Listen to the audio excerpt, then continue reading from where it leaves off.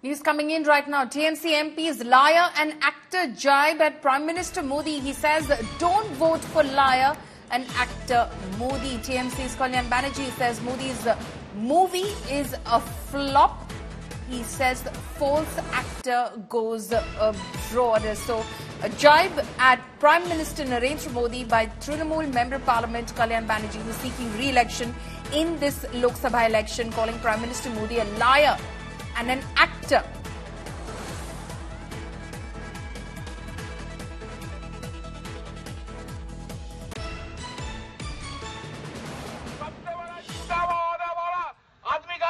है?